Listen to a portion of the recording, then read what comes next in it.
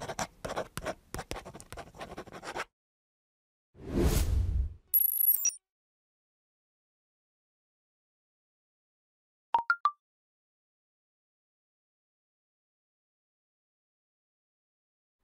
الله الرحمن الرحيم. النهاردة هناخد الدرس الأخير في الوحدة الأولى في الجبر حل معادلات ومتباينات القيمة المطلقة. الدرس ده هنقسمه على حصتين. النهاردة هناخد حل المعادلات جبريا وبيانيا والحصة الجاية ناخد حل المتباينات. المعادلات فيها يساوي المتباينات فيها أكبر من وأصغر من. طيب يعني إيه حل المعادلة؟ يعني نجيب له قيمة المجهول اللي في المعادلة زي السين هنا.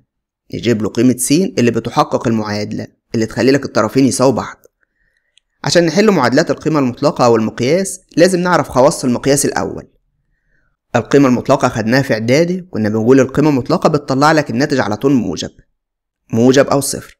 لو العدد سالب تطلع موجب. لو هو موجب ينزل موجب زي ما هو. مثلا القيمة المطلقة لسالب تلاتة. القيمة المطلقة تاكل السالب هتساوي موجب تلاتة. القيمة المطلقة للتلاتة التلاتة موجب تنزل تلاتة زي ما هي. طب القيمة المطلقة للصفر هو الصفر. يبقى كل وظيفة القيمة المطلقة بتاكل السالب. لاحظ الناتج هنا يا إما يطلع عدد موجب أو يطلع صفر. ما ينفعش يطلع سالب. لذلك لو قالك مقياس س يساوي سالب تلاتة السين بكام؟ إيه العدد اللي مقياسه سالب تلاتة؟ مفيش لأن المقياس بياكل السالب فمفيش عدد مقياسه هيطلع سالب. يبقى مجموعة الحل هنا فاي. من هنا نقدر نستنتج أول خاصية. أول خاصية بتقول لك إن قيمة المقياس أو الناتج لازم يطلع أكبر من أو يساوي صفر. يعني يا إما يطلع موجب أو يساوي صفر. ما ينفعش يساوي سالب. لو قال لك مقياس يساوي عدد سالب تقول له مجموعة الحل فاي طب تعال نعكس الفكرة. هيديك الناتج وعايزين العدد اللي داخل المقياس. يقول لك لو مقياس س يساوي خمسة س بكام؟ إيه العدد اللي مقياسه خمسة؟ والله ينفع خمسة وينفع سالب خمسة. الخمسة وسالب خمسة مقياسهم خمسة. يبقى السين هنا تنفع موجب خمسة أو سالب خمسة. زيها لو مقياس س بيساوي سبعة س بكام؟ السين تنفع سبعة أو سالب سبعة. طب لو مقياس س يساوي صفر إيه العدد اللي مقياسه صفر؟ هو الصفر. مقياس الصفر بيساوي صفر. يبقى بشكل عام لو مديك مقياس يساوي عدد تعرف إن ما بداخل المقياس يساوي موجب أو سالب العدد. زي مقياس س يساوي تلاتة لو عايز السين أقوله بتساوي موجب أو سالب تلاتة. الملحوظة التالتة بتقولك إن إحنا ممكن نبدل داخل المقياس. في الطرح الطرح إبدالي داخل المقياس. يعني مقياس تلاتة ناقص س بتساوي مقياس س ناقص تلاتة. ممكن نبدل عادي داخل المقياس. تفهمها بالأعداد. مقياس تلاتة ناقص واحد هتساوي مقياس واحد ناقص تلاتة. تعالى وطرحت تلاتة ناقص واحد باتنين. مقياس الاتنين باتنين. واحد ناقص تلاتة بسالب اتنين.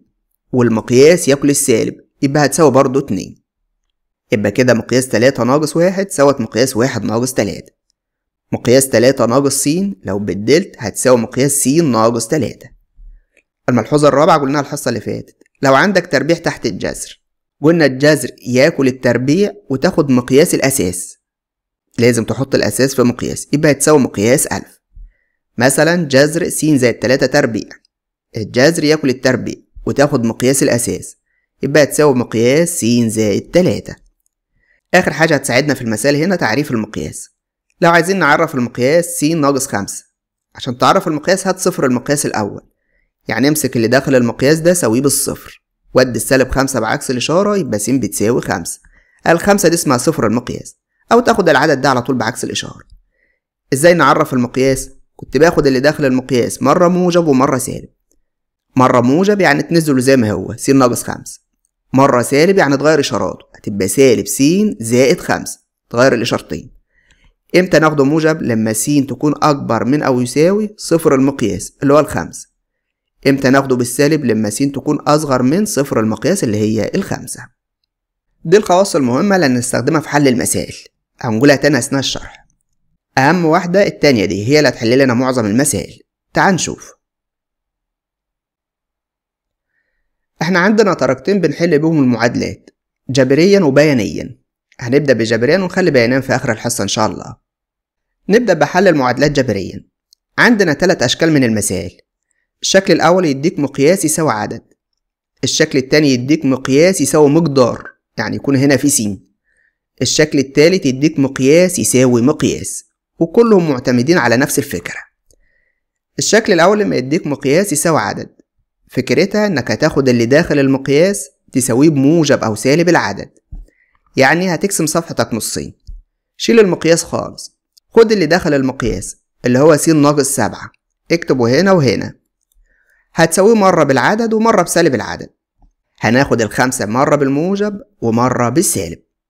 هتلاقي كل المسائل نفس الفكرة كده. شلنا المقياس خالص خدنا اللي داخل المقياس بس. سويناه بالعدد ده مرة بالموجب ومرة بالسالب. بعد كده تحل معادلات عادية. ثبت السين ودي السالب سبعة بعكس الإشارة. هتبقى خمسة زائد سبعة باتناشر. ثبت السين ودي السالب سبعة بعكس الإشارة. هتروح موجب سبعة. سالب خمسة زائد سبعة باتنين. أهي قيم س دي هي مجموعة الحل. بس لازم تتأكد من القيم دي. هل تحقق المعادلة ولا لا تحقق؟ أعرف منين؟ نعوض. السين باتناشر. عوض عن السين باتناشر. اتناشر ناقص سبعة بخمسة. ومقياس الخمسة يساوي خمسة. فعلا الطرفين يساووا بعض يبقى الاتناشر دي تحقق. اتأكد من الاتنين عوض عن السين باتنين. اتنين ناقص سبعة بسالب خمسة. والمقياس هياكل السالب يبقى هتساوي موجب خمسة. يبقى الاتنين كمان تحقق. يبقى مجموعة الحل تنفع اتناشر وتنفع اتنين. ممكن نتأكد بطريقة تاني. هنجيب صفر المقياس. لو سويت ده بصفر السين هتطلع معاك بسبعة. أو خد العدد ده بعكس الإشارة هيساوي سبعة.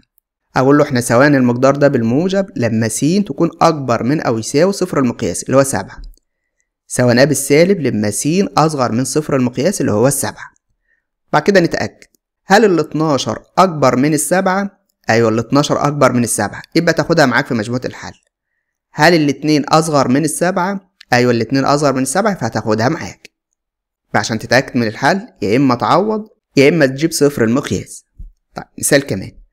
عايز يحل المعادلة 2 في مقياس س ناقص 2 يساوي 6 تعال نعدل المعادلة الأول. هنخلي المقياس ده لوحده. مين مضايقه الاتنين فعشان نخلص منها نقسم عليها.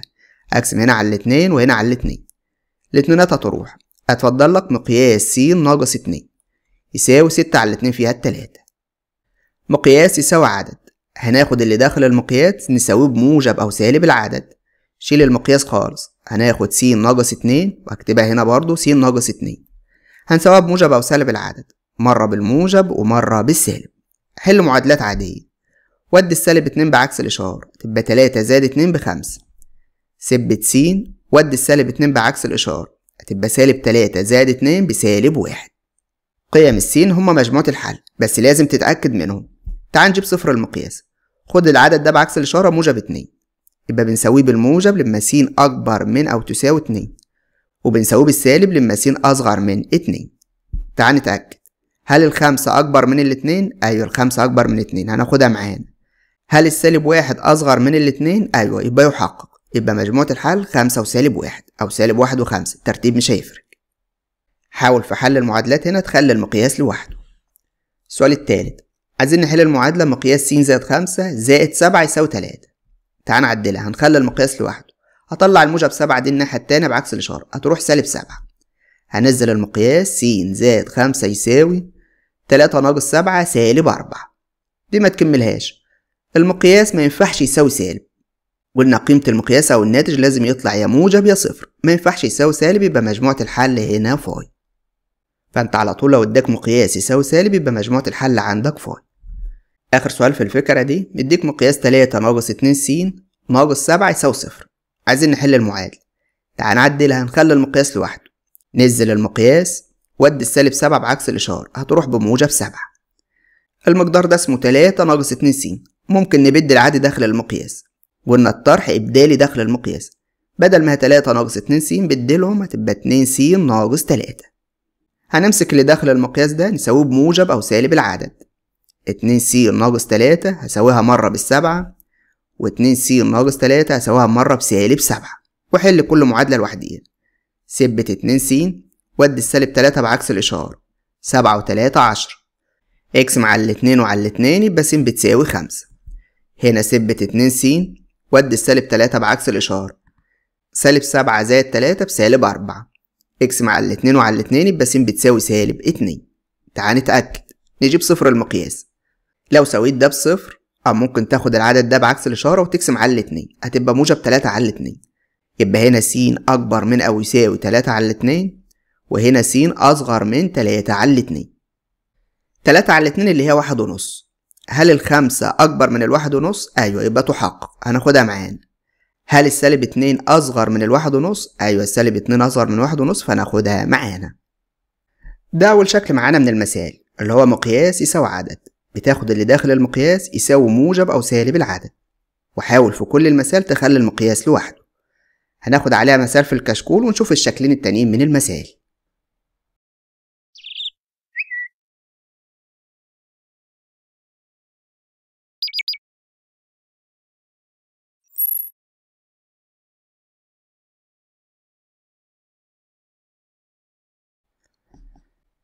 الشكل التاني من المسائل هيديك فيها مقياس يساوي مقدار مقدار جبري يعني في س نفس الفكرة هتاخد ما بداخل المقياس وتساويه بموجب أو سالب المقدار.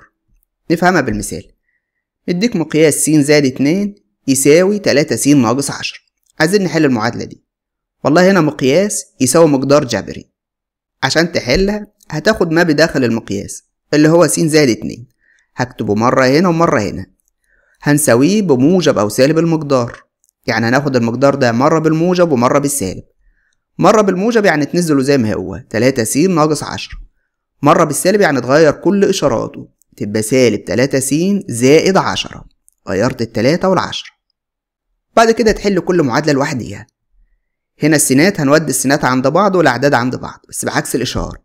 هثبت س وادي لها التلاتة يبقى سالب تلاتة س يساوي السالب عشرة في بيتها وادي لها الموجب اتنين سالب اتنين. اطرح. س ناقص تلاتة س سالب اتنين س سالب عشرة وسالب اتنين سالب اتناشر. اقسم على سالب اتنين وعلى سالب اتنين يبقى س بتساوي ستة.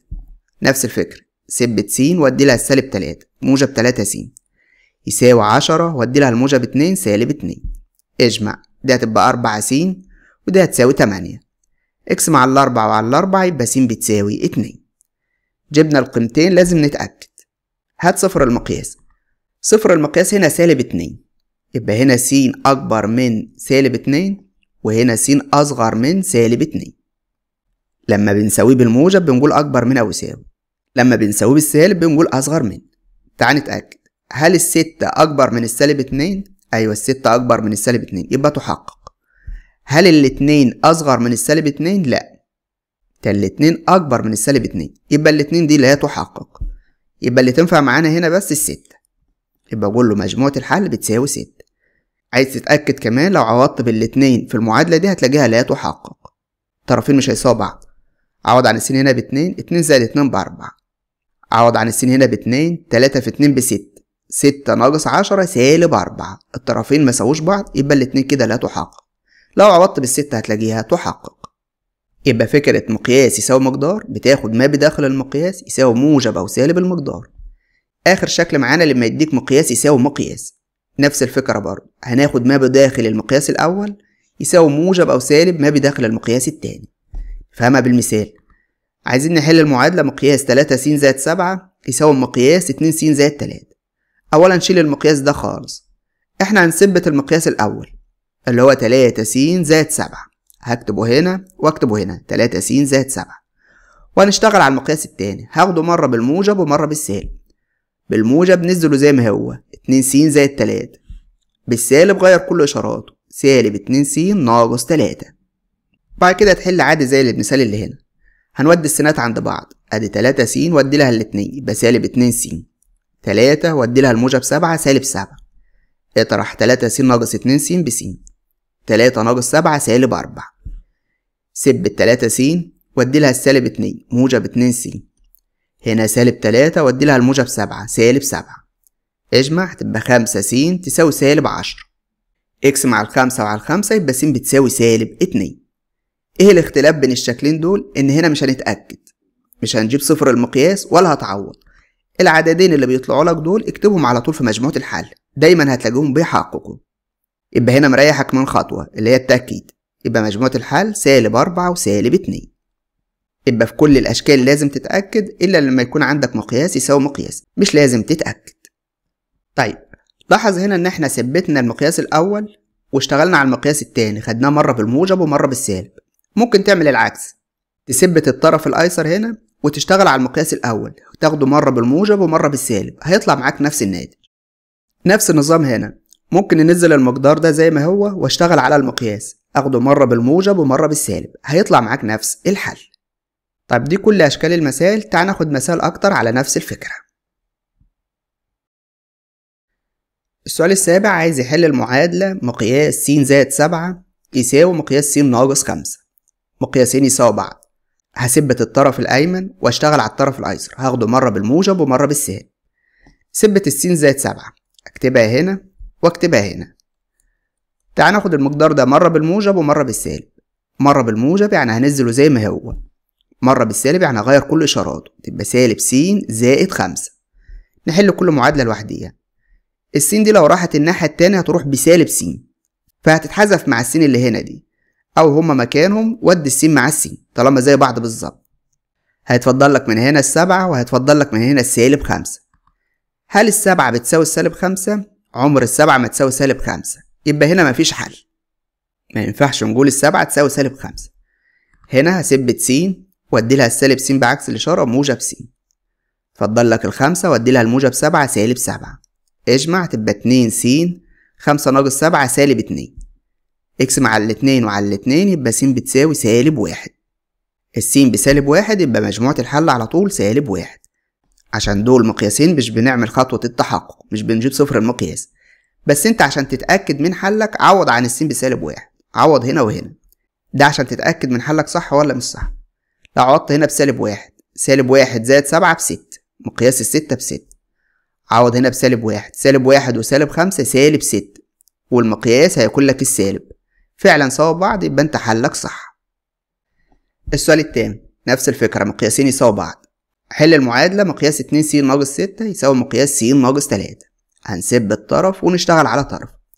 هثبت الأيمن اتنين س ناقص ستة هنا اتنين س ناقص ستة هنشتغل على الطرف ده اخده مرة بالموجب ومرة بالسالب.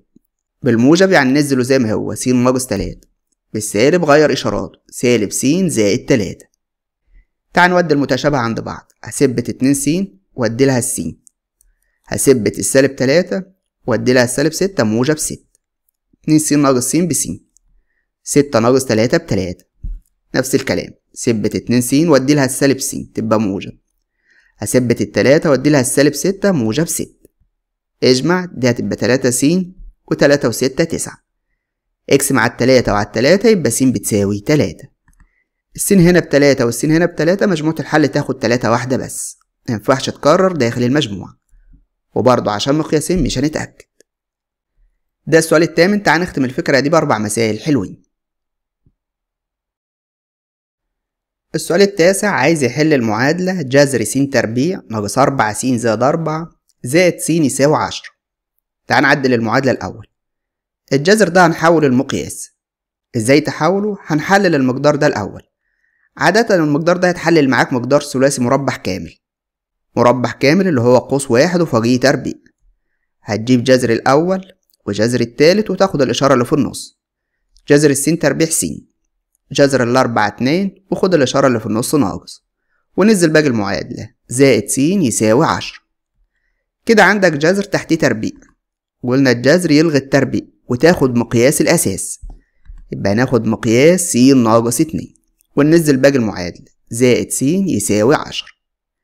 يبقى كده حولنا الجذر المقياس. في مثال المقياس حاول تخلي المقياس لوحده. الموجب س دي هنوديها الناحية التانية بعكس الإشارة.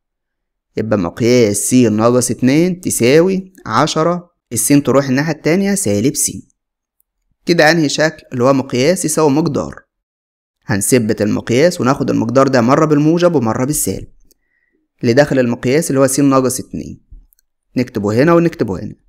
المقدار بالموجب يعني ننزله زي ما هو عشرة ناقص س بالسالب غير إشاراته تبقى سالب عشرة زائد س اكتب الشروط بتاعتك بالمرة. صفر المقياس هنا موجب اتنين. يبقى هنا س أكبر من موجب اتنين وهنا س أصغر من اتنين. تعال نحل المعادلات. أثبت س وأدي لها السالب س موجب س يساوي عشرة وأدي لها السالب اتنين موجب اتنين. س وس اتنين س عشرة واتنين اتناشر. اقسم على الاتنين وعلى الاتنين يبقى س بست هل الستة أكبر من الاتنين؟ أيوة يبقى تحقق. تعال نحل المعادلة دي. عندك هنا س وهنا شبهها س بالظبط فممكن يروحوا مع بعض. طالما شبه بعض بالظبط ممكن يروحوا. هتفضل لك هنا سالب اتنين وتفضل لك هنا سالب عشرة. هل ينفع نقول السالب اتنين تساوي السالب عشرة؟ عمرها ما تساويها. يبقى هنا مفيش حل. يبقى مجموعة الحل عندك بس اللي هي الستة. فكرتها إن إحنا حولنا الجذر المقياس. السؤال العاشر. حل المعادلة مقياس س ناقص واحد ناقص اتنين في مقياس اتنين ناقص س يساوي صفر. هنا المقياسين جنب بعض في طرف واحد. تعال نعزلهم عن بعض الأول. هثبت المقياس ده وهودي المقياس التاني الناحية التانية بعكس الإشارة. المقياس ده ينزل زي ما هو. مقياس س ناقص واحد. يساوي سالب اتنين تروح الناحية التانية موجب اتنين. والمقياس ده ينزل. ممكن نبدل هنا. اتنين ناقص س أخليها س ناقص اتنين. في المقياس ممكن نبدل عادي. هنا مقياس يساوي مقياس. هثبت المقياس الأول وهناخد الطرف التاني ده مرة بالموجب ومرة بالسالب. هكتب هنا س ناقص واحد وهنا س ناقص واحد. ده هاخده بالموجب يعني هنزله زي ما هو. اتنين في س ناقص اتنين. حطيت قوس عشان هضرب الاتنين في القوس. وناخده بالسالب. هيبقى سالب اتنين س ناقص اتنين. خدنا الطرف ده مرة بالموجب ومرة بالسالب. تعال نضرب الاتنين في القوس الأول. س ناقص واحد هتنزل. اتنين في س باتنين س واتنين في اتنين بأربعة. هنا س ناقص واحد هتنزل. سالب اتنين في س بسالب اتنين س سالب اتنين في سالب اتنين بموجب أربعة نودي السينات عند بعض. أثبت س وأدي لها الاتنين س أثبت السالب أربعة وأدي لها السالب واحد. س ناقص اتنين س سالب س سالب أربعة زائد واحد سالب تلاتة. السالب يروح مع السالب يبقى س بتساوي تلاتة. هنا ثبت س وأدي لها السالب اتنين موجب اتنين ثبت الأربعة وأدي لها السالب واحد موجب واحد اجمع تلاتة س أربعة وواحد خمسة. اقسم على التلاتة وعلى التلاتة يبقى س بتساوي خمسة على تلاتة. وعشان دول مقياسين ما تتأكدش هتاخد التلاتة والخمسة على التلاتة. يبقى مجموعة الحل تنفع تلاتة وتنفع خمسة على تلاتة. ده السؤال العاشر نشوف السؤال حداشر سؤال حداشر سؤال حلو. حل المعادلة مقياس تلاتة س ناقص تسعة ناقص مقياس تلاتة ناقص س يساوي عشرة؟ لاحظ هنا المقياس ده ممكن أبدل فيه تلاتة ناقص س أخليها س ناقص تلاتة. والمقياس الأول فيه تلاتة عامل مشترك فممكن ناخد من هنا عامل مشترك. يبقى هنا هنبدل وهنا هناخد التلاتة عامل مشترك. طلع التلاتة عامل بعد العامل بنقسم خدنا التلاتة اتفضل لك س تسعة التلاتة فيها التلاتة. ناقص. المقياس ده ممكن نبدل فيه. بدل ما هي تلاتة ناقص س خليها س ناقص تلاتة. وأساوي الكلام ده بالعشرة. لاحظ كده المقياسين شبه بعض. فممكن نطرح عادي. تطرح المعاملات بس. دي تلاتة والمقياس ده يعتبر جاب ليه واحد. هتطرح المعاملات وتنزل المقياس زي ما هو. زي مثلا ما أقول لك تلاتة ألف ناقص ألف. كنا بنطرح إزاي؟ نطرح المعاملات وأنزل الألف زي ما هي. تلاتة ناقص واحد باتنين وأنزل ألف. هنا نفس الفكرة اطرح تلاتة ناقص واحد باتنين وأنزل المقياس زي ما هو. س ناقص تلاتة. وأساوي الكلام ده بالعشرة تعال نخلي المقياس لوحده. عايز أخلص من اتنين هقسم هنا على الاتنين وهنا على الاتنين. الاتنينات هتروح يبقى مقياس س ناقص تلاتة يساوي عشرة على الاتنين فيها الخمسة رجعت لأول صورة معانا مقياس يساوي عدد. هاخد اللي جوه المقياس اللي هو س ناقص تلاتة أساويه مرة بخمسة الخط ده مخاصمنا وأساويه مرة بسالب خمسة بس س ناقص تلاتة هنساويه مرة بسالب خمسة.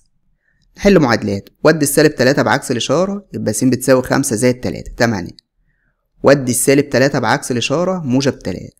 سالب خمسة زائد تلاتة سالب اتنين. ولما تتأكد هتلاقيهم هما الاتنين يحققوا يبقى مجموعة الحل تنفع تمانية أو سالب اتنين. ده سؤال حداشر. تعال ناخد آخر سؤال على الفكرة دي. سؤال اتناشر وبرضه سؤال حلو.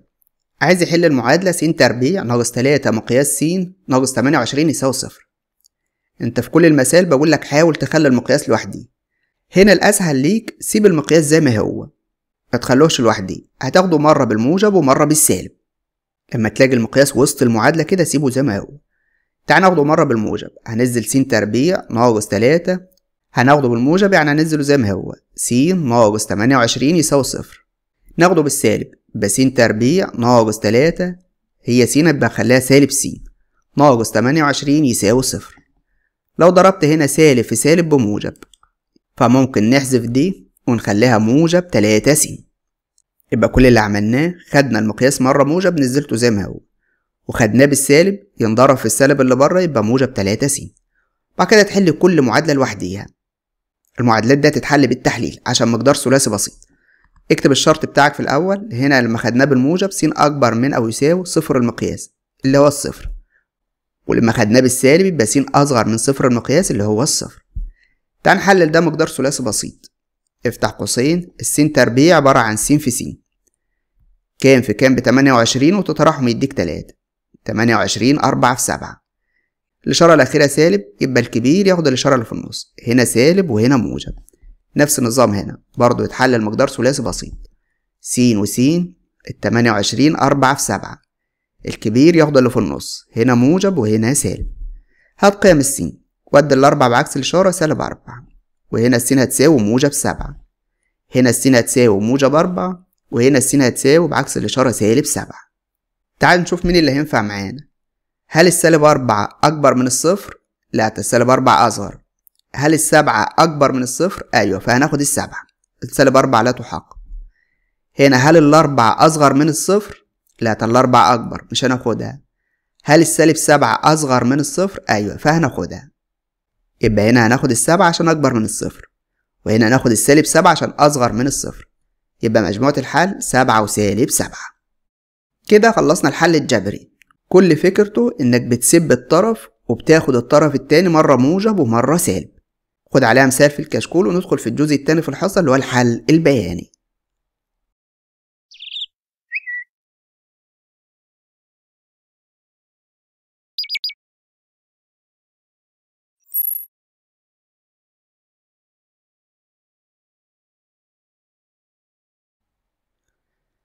الجزء التاني معانا في الحصة اللي هو حل معادلات القيمة المطلقة لكن بيانيا. هنجيب مجموعة الحل من الرسم. فكرة مثال الحل البياني إنك هتقسم المعادلة لدالتين المعادلة فيها طرفين طرف أيمن وطرف أيسر. هنعتبر الطرف الأيمن دالة لوحده والطرف الأيسر دالة لوحده ونمثلهم هما الاتنين على نفس الشبكة. نفهمها بالمثال. عايز يحل المعادلة مقياس س ناقص اتنين يساوي تلاتة بيانيا. الطرف الأيمن اسمه مقياس س ناقص اتنين. هسميه مثلا دال واحد الدالة الأولى. والطرف الأيسر بتلاتة هسميه دالة اتنين الدالة التاني. وبعد كده همثل كل دالة لوحديهم على حسب نوع الدالة زي ما خدنا في درس التمثيل البياني للدوال. والله دي دالة مقياس ودي دالة ثابتة. تعال نبدأ بالدالة الثابتة سهلة. دالة س بتلاتة دالة س اللي هي صاد. هتيجي عند التلاتة اللي في الصاد والدالة الثابتة بنرسمها بمستقيم يوازي محور السينات. كده رسمنا الطرف الأيسر. الطرف الأيمن كان اسمه مقياس س ناقص اتنين. دي دالة مقياس. عشان أمثلها لازم في الأول نجيب رأس المنحنى. العدد ده بعكس الإشارة والعدد اللي بره بنفس الإشارة. سالب اتنين تبقى موجب اتنين. ومفيش حاجة بره تبقى صفر. ده رأس المنحنى اتنين وصفر. هتيجي عند الاتنين وصفر ودالة المقياس بنرسمها شعاعين وشهم لفوق أو وشهم لتحت. على حسب إشارة المقياس. إشارة المقياس هنا موجب فهنرسم شعاعين وشهم لفوق. طيب يهمني هنا إن الرسم يطلع معاك مظبوط. عشان يطلع معاك مظبوط ممكن تمشي على رؤوس المربعات دي. لما ترسم الشعاع الأول خليه على رؤوس المربعات ولما ترسم الشعاع التاني برضو تخليه على رؤوس المربعات أو الأفضل أو الأصح إنك تعمل جدول صغير. رأس المنحنى عندك اتنين وصفر السين باتنين والصاد بصفر. هتمسك السين دي تاخد عدد قبليها وعدد بعديها وتعوض بيهم في الدالة اللي قبل الاتنين الواحد. واللي بعد الاتنين تلاتة. عوض بيهم في الدالة هنا. س بواحد. واحد ناقص اتنين بسالب واحد. القيمة المطلقة هتاكل السالب يبقى موجب واحد.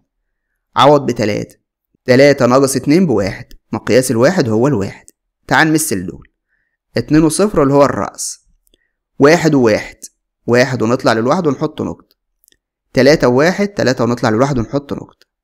بعد كده توصل النقط دي. كده الرسم هيطلع معاك مظبوط. نرسم ده الشعاع الأول ونرسم الشعاع التاني.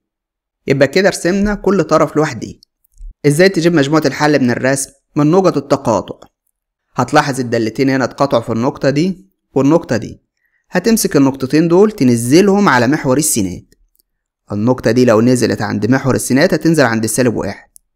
والنقطة دي لو نزلت عند محور السينات هتنزل عند الخمسة. يبقى مجموعة الحل سالب واحد وخمسة. يبقى عشان تجيب مجموعة الحل هات نقط التقاطع ونزلهم على محور السينات نزلوا عند السالب واحد والخمسة. طب عايز تتأكد من حلك؟ يا إما تمسك السالب واحد والخمسة تعوض بيهم في المعادلة يا إما تحلها جبري. لو حليتها جبري برضه هتطلع معاك سالب واحد وخمسة. طيب عشان تثبت تعال ناخد عليها تلات مسائل كمان. السؤال التاني عايزين نحل المعادلة مقياس اتنين س ناقص تلاتة يساوي س زائد تلاتة. عايزين نحلها بيانيا. فهنقسم المعادلة لدالتين الطرف الأيمن هسميه الدالة الأولى والطرف الأيسر هسميه الدالة التاني. ونرسم كل دالة لوحديها. الطرف الأيمن عبارة عن دالة مقياس. في دالة المقياس نجيب رأس المنحنى. خد العدد ده بعكس الإشارة هيبقى موجب تلاتة. وفي قبل السين اتنين هنقسم عليها يبقى تلاتة على الاتنين والعدد اللي بره مفيش يبقى صفر. يبقى رأس المنحنى تلاتة على الاتنين وصفر. تلاتة على الاتنين اللي هي واحد ونص. يبقى السين بواحد ونص والصاد بصفر. عشان رسمتك تطلع مظبوطة خد عدد قبل الواحد ونص وعدد بعد الواحد ونص. اللي قبل الواحد ونص واحد واللي بعديه اتنين. امسك الواحد والاتنين عوض بيهم في الدالة. عوض بواحد. اتنين في واحد باتنين. ناقص تلاتة سالب واحد المقياس يكون لك السالب يبقى هيساوي موجب واحد. عوض باتنين. اتنين في اتنين بأربعة أربعة ناقص تلاتة بواحد. نمثل الدالة التانية. اسمها س زائد تلاتة. دي دالة خطية عشان من الدرجة الأولى. الدالة الخطية بنختار أي تلات قيم براحتنا مثلا صفر واحد اتنين. نعوض بيهم في الدالة. عوض بصفر. صفر زائد تلاتة بتلاتة. واحد زائد تلاتة بأربعة. اتنين زائد تلاتة بخمسة. تعال نمثل الدالتين دول على نفس الشبكة. هنا الرأس كان اسمه واحد ونص وصفر. واحد ونص في السين. مع الخط بالظبط. النقطتين التانيين واحد وواحد اتنين وواحد. واحد وواحد اتنين وواحد هنوصل الشعاع الأول ونرسم الشعاع التاني. نرسم الدالة التاني صفر وتلاتة. صفر ونطلع للتلاتة. واحد وأربعة. اتنين وخمسة. دي دالة خطية فلازم التلات نقط دول يطلعوا معانا على نفس الخط المستقيم. إزاي أجيب مجموعة الحل من الرسم؟ من نقط التقاطع. الدالتين اتقاطعوا في النقطة دي والنقطة دي. هتمسك النقطتين دول تنزلهم على محور السينات النقطة دي لو نزلت عند محور السينات هتنزل عند الصفر. والنقطة دي لو نزلت عند محور السينات هتنزل عند الست. يبقى مجموعة الحل صفر وست. عايز تتأكد؟ يا إما تعوض يا إما تحل جبري ده السؤال التاني شوف السؤال التالت. السؤال التالت عايز يحل المعادلة مقياس س زائد واحد يساوي صفر بيانيا. طب تعال نخلي المقياس لوحده. هنطلع الموجب واحد الناحية التانية بعكس الإشارة. يبقى مقياس س تساوي سالب واحد. في الحل البياني هجسم كل طرف دالة لوحديه الطرف الأيمن اسمه مقياس س والطرف الأيسر اسمه سالب واحد. دي دالة مقياس ودي دالة ثابتة هرسمهم هما الاتنين. دي أبسط صورة لدالة المقياس مش شرط أعمل لها الجدول ده. مقياس السين بيبدأ من عند صفر وصفر وممكن هنا تمشي على رؤوس المربعات دي عشان الرسمة تطلع معاك مظبوطة. هنرسمها سبعة ولا تمانية؟ هنرسمها سبعة عشان المقياس بالموجب. دي كده رسمة المقياس. الدالة التانية سالب واحد دي دالة ثابتة. هتيجي عند السالب واحد في الصاد وترسم مستقيم يوازي محور السينات. كده إحنا رسمنا الدالتين إزاي أجيب مجموعة الحل من الرسم؟ من نقطة التقاطع. والله الدالتين هنا مش متقاطعين. مفيش تقاطع يبقى مجموعة الحل هنا بتساوي فاي. أو لو عايز تتأكد من الحل الجبري المقياس يساوي سالب. والله ما ينفعش المقياس يساوي سالب. يبقى مجموعة الحل على طول فاي. طيب تعال ناخد آخر سؤال في الرسم البياني. آخر مسألة معانا في الحل البياني عايز يحل المعادلة مقياس س ناقص تلاتة زائد س يساوي تلاتة بيانيا. تعال نعدلها الأول. هنخلي المقياس لوحده. أطلع الموجب س الناحية التانية بعكس الإشارة.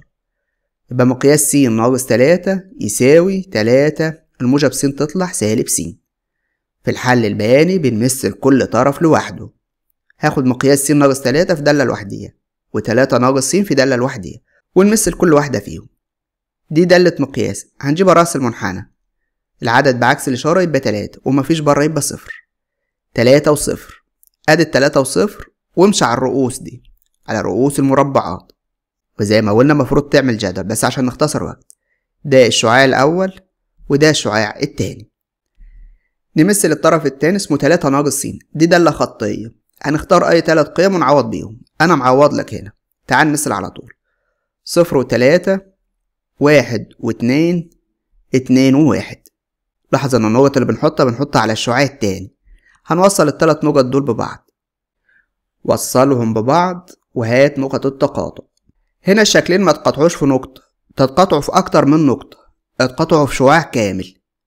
يبقى مجموعة الحل اللي هو الشعاع اللي على الشمال ده. المفروض ننزله على محور السينات النقطة دي هتنزل عند التلاتة وهنا ماشي على طول لما ينزل على محور السينات هينزل عند سالب ما لا نهاية. يبقى مجموعة الحل من سالب ما لا نهاية لغاية التلاتة. يبقى هنا في شعاع كامل من سالب ما لا نهاية لغاية التلاتة. طيب تعال نتأكد كده من الحل الجبري. هثبت الطرف الأيمن وهاخد الطرف ده مرة موجب ومرة سالب. يعني أقول له س ناقص تلاتة وهنا س ناقص تلاتة. خد المقدار ده بالموجب يعني نزله زي ما هو. وخده بالسالب غير إشاراته. سالب تلاتة زائد س واكتب الشرط بتاعك. بناخده بالموجب يبقى س أكبر من أو يساوي صفر المقياس. وهنا س أصغر من صفر المقياس. خد السالب تلاتة بعكس الإشارة بموجب تلاتة. تعال نحل المعادلات. ودي السالب س عند الموجب س هتساوي اتنين س ودي السالب تلاتة عند تلاتة هتساوي ست اقسم على الاتنين يبقى س بتساوي تلاتة. هنا ممكن تقول السين تروح مع السين. هيتفضل لك سالب تلاتة تساوي سالب تلاتة. لما تلاقي العددين يساووا بعض أو الطرفين يساووا بعض تعرف إن الفترة دي بتحقق المعادلة. يعني مجموعة الحل هنا هي الفترة دي اللي هي س أصغر من تلاتة. لو خدت أي عدد أصغر من تلاتة وعوضت بيه في المعادلة دي هتلاقيه يحقق هتلاقي الطرفين يساووا بعض يبقى مجموعة الحل هنا الفترة دي اللي هي س أصغر من تلاتة. اللي أصغر من تلاتة يعني من سالب ما لا نهاية لغاية التلاتة.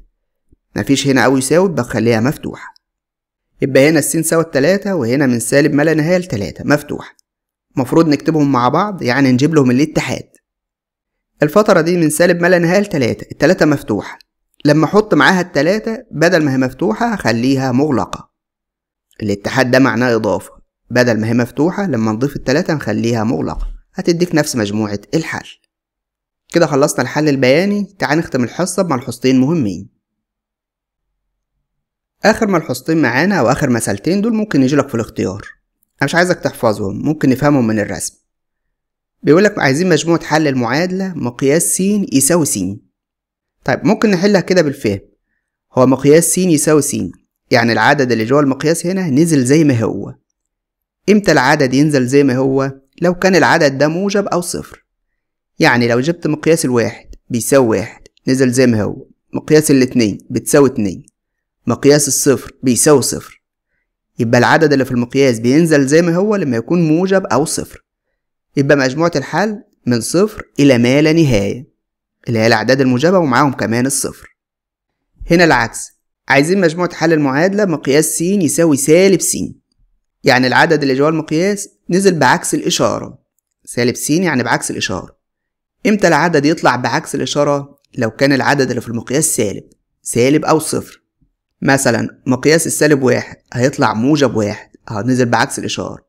مقياس سالب اتنين بموجب اتنين مقياس الصفر بصفر. يبقى طالما العدد طلع بعكس الإشارة تعرف إن العدد ده سالب أو صفر.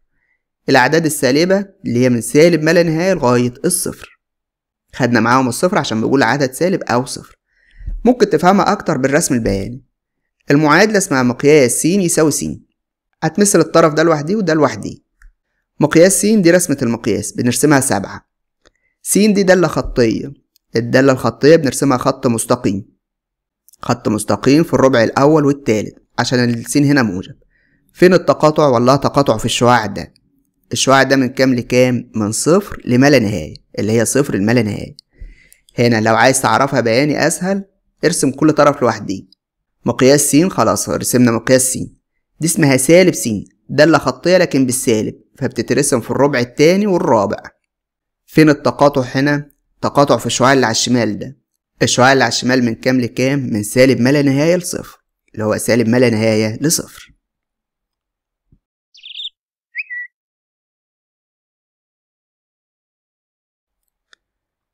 ملخص الحصة التامنة معانا اللي هي حل معادلات القيمة المطلقة.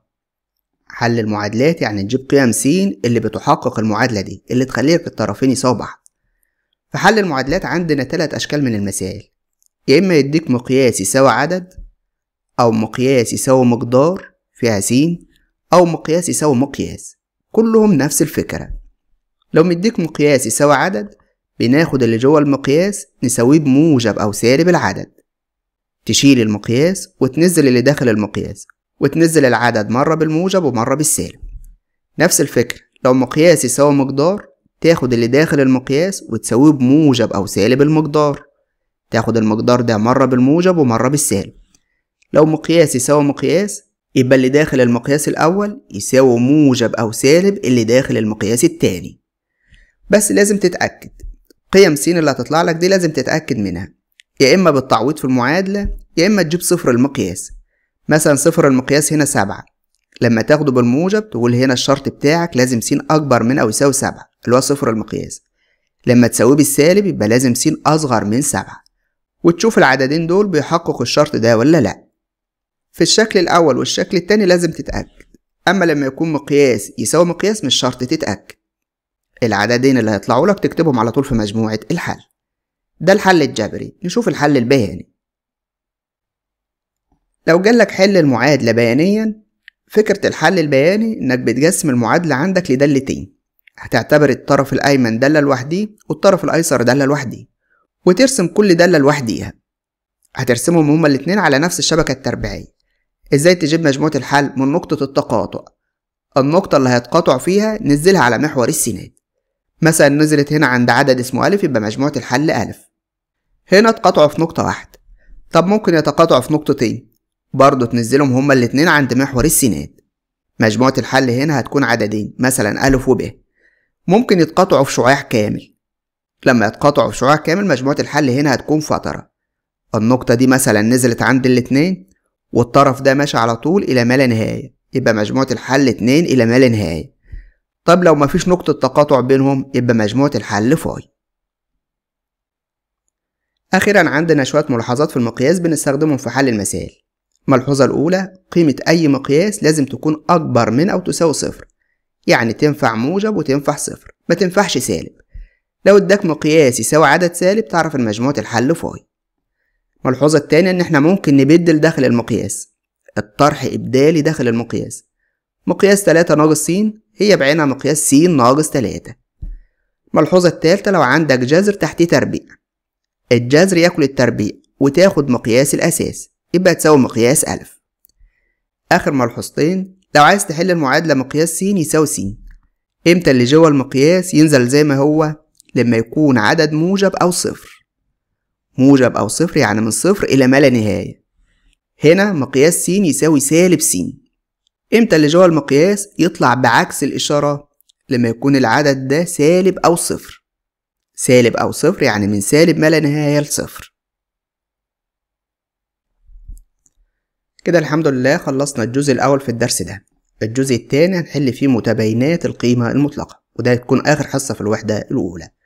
كل منهج الجبر هتلاقوه في القائمة اللي بتظهر هنا دي وأشوفكم الحصة الجاية إن شاء الله.